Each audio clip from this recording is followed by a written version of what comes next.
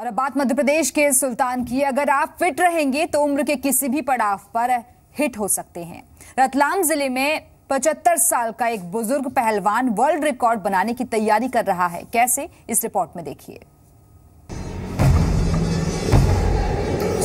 तेरे मिट्टी मिट्टी में तेरा खून।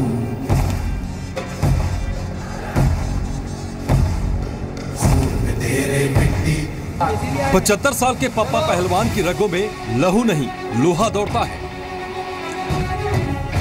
पप्पा पहलवान पचहत्तर बसंत देख चुके हैं, लेकिन इनमें आज भी गजब की फुर्ती है। सीने में बड़े से बड़े पहलवान को धूल चटाने का फौलाद बाकी है। जिस उम्र में लोग उम्मीद हार जाते हैं, उम्र के उसी पड़ाव पर पप्पा पहलवान वर्ल्ड रिकॉर्ड बनाने निकले हैं। अखाड़ों में कईयों को धूल चटा चुके पप्पा। अब फिर नए दांव से, नए जोश से कामयाबी की नई इबारत लिखना चाहते हैं। शुरू से मैं पहलवानी करता हूँ, कुश्ती भी लड़ता हूँ।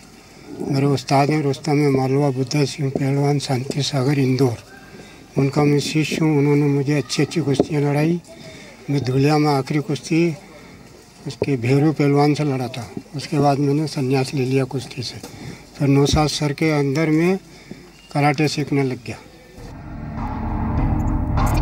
नीमच ज़िले के रहने वाले नूर मोहम्मद उर्फ़ पप्पा पहलवान के चेहरे पर झुरिया उम्र का तकाजा करती हैं। लेकिन पप्पा पहलवान का ये दांव देखिए 25 साल के लड़के पर भी ये दांव।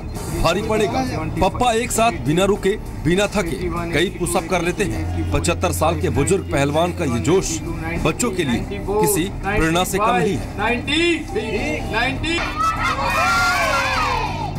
मैं अंकल को देख के बनना चाहूँगा कि वो इतनी बड़ी उम्र के होके भी वो मीन्स इतनी मेहनत करते हैं वो इतने ताकतवर हैं और उनकी फिटनेस बहुत अच्छी है। मैं चाहता हूँ कि मैं भी बड़े होके इत, इतना ही ताकतवर बना रहूँ।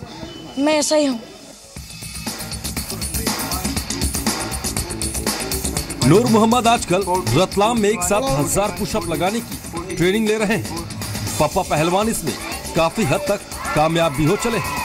पचहत्तर साल की उम्र में ऐसा हौसला देखकर उनके नए गुरु भी हैरान हैं।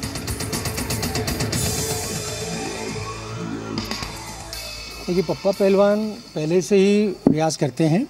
और ये हमारी मार्शल आर्ट की नीमच जो ब्रांच है, उसमें जुड़े हैं ये। अमित गर्ग मेरे जो असिस्टेंट वहाँ ट्रेनिंग देते हैं उनसे। आज की पीढ़ी पचास साठ साल की उम्र में लोग सोचते हैं कि हम बूढ़े हो गए हैं। तो ये मैं चाहता हूँ कि ऐसे व्यक्ति कुछ ऐसा करके दिखाएँ कि दूसरे अन्य व्यक्ति भी इनको देखकर और वो, और आज लोगों में जागरूकता आई है कि लोग व्यायाम करते हैं, पैदल भी घूमते हैं, इस एज के लोग भी। तो इनको देखकर ये उनके आदर्श बनेंगे और जब ये कीर्तिमान स्थापित करेंगे तो ये देश का नाम भी रोशन करेंगे। पचहत्तर साल के पापा पहलवान अगले महीने Limca book of world record में अपना हाथ आजमाना चाहते हैं। मिशन दुनिया जीतने का है, जिसके लिए पप्पा के पास जुनून भी है और जोश भी। Chandrashekhar Solanki, India twenty four seven Khan, दूसरा